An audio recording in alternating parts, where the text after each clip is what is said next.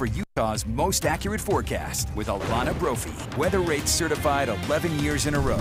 And it is now officially summer. And a gorgeous night out there, Alana. It was so pretty. We had clear skies to close out the summer solstice sunset. Great shot here. Meg Roberts catching that from Antelope Island with that orange glow. It was a day where temperatures were very close to where they should be this time of year. 85 in Salt Lake, 86 the average. We were just below it. Low 90s in Moab, 98 in St. George, which is the average. A lot of 70s, 80s out there. So it was a gorgeous day and a pretty quiet start to the season with those clear skies and not much going on.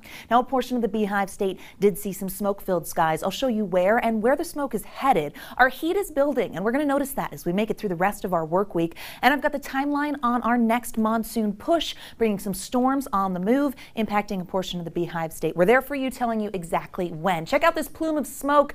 It is the Left Fork fire. This was taken from Kanab tonight. Judy Keel sending that our way. What a plume there. And we are seeing smoke in the south central portion of the state. Now, Bryce Canyon country definitely seeing it thicker. And with our southwesterly flow, we watch as that smoke gets carried over I-70 on the Futurecast model towards Castle Country and then over near Moab. High pressure in control. We're watching moisture from the south. That is eventually going to migrate north. But today it was all about the clear skies and quiet conditions. Cloud cover already starting to show up in the southern portion of the state and the increase will be noticeable into tomorrow. Here's why. So we get this push of moisture coming up, monsoon push, with an area of high pressure to our east. And now we've got an area of low pressure to our west. And that's going to dig towards Utah and pull from the Gulf of California. So two different moisture sources, bringing the potential of thunderstorms for our Wednesday. Where? Great question. Eastern side of the state, southern Utah and central Utah all have the chance of seeing a storm. So eyes to the skies for tomorrow.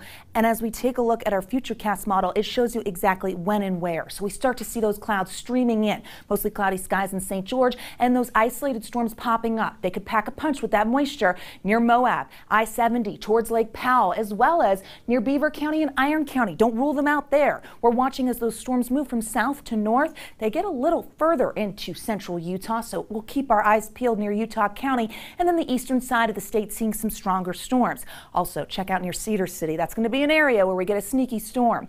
Things start to calm down and clear as we head into Thursday, but we can't rule out the potential as you see a front coming through we have potential for flash flooding when we see those storms popping up on the radar, and that's for several of our national parks. This is the time of year where we love to get out and hike and bike, but you've got to know before you go, it is possible to see a thunderstorm that produces a flash flood in places like Zion, Capitol Reef, Canyonlands. Arches is out of the mix tomorrow, but just know that could change. 80s and 90s for those daytime highs, with Salt Lake climbing back into the low 90s for our Wednesday. Low 90s expected in Moab, 80s in the Basin, Castle Country, 80s along the I-15 corridor, and 95 in St. George, where storms are going to really target over towards Lake Powell, but that cloud cover in St. George will be noticeable. Taking a look at the next seven days, showing you Washington County, where we see those temperatures getting close to 100 degrees and getting back there by the weekend. Again, a slight chance of a storm on Friday. Can't rule it out. And then the heat makes a return. More cloud cover in St. George as a result of that influx in moisture. Here's the Wasatch Front 91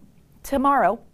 Thursday through Sunday, slight chance of a storm. We see those 90s kind of peak and valley as we get through the next little while, but all of those numbers for the next seven days above average, so that'll give you an idea. Summer's coming in and it's ready to heat things up. Glenn, Courtney, over to you.